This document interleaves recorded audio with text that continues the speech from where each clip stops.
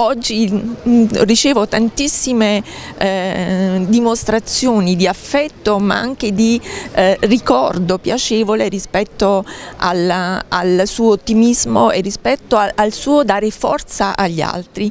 Era questa la grande eh, forza di mio figlio e quella che sta dando anche a me in questo momento perché ehm, credo che nessuna madre dopo pochissimi mesi del proprio figlio abbia la forza propria di poter organizzare queste cose. Io sento che lui me la sta dando. Le lacrime di dolore dopo la perdita tragica ed improvvisa di Danilo, mamma Elena le ha versate tutte. Ora quelle stesse lacrime si devono tradurre in forza, in speranza e in azione.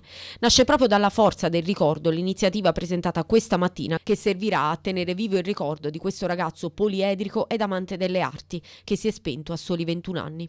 La famiglia di Danilo ha creato una onlus che servirà a raccogliere fondi per finanziare gli studi e le passioni dei giovani avellinesi, un modo per continuare il percorso intrapreso da Danilo.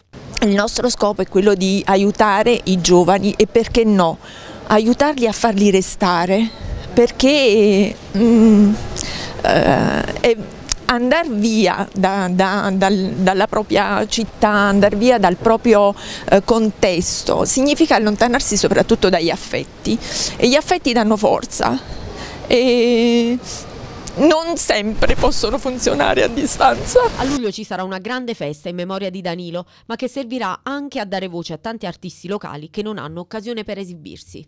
Però noi stiamo organizzando un mega party, un mega festival per dare proprio la possibilità a tutti i giovani esordienti di divertirsi e di essere per una volta al centro dell'attenzione esibendosi su un palco, io dico meraviglioso perché non se ne è visti mai qui in città.